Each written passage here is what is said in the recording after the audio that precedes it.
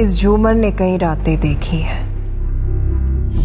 कुछ महफिलों की रोशनी से जगमगाती रातें और कुछ फरेब की सियाही से बुझी रातें। उस रात जो हुआ था, वो भूली नहीं है फरीदन। आ रहे हैं हर गुनाह का हिसाब करने।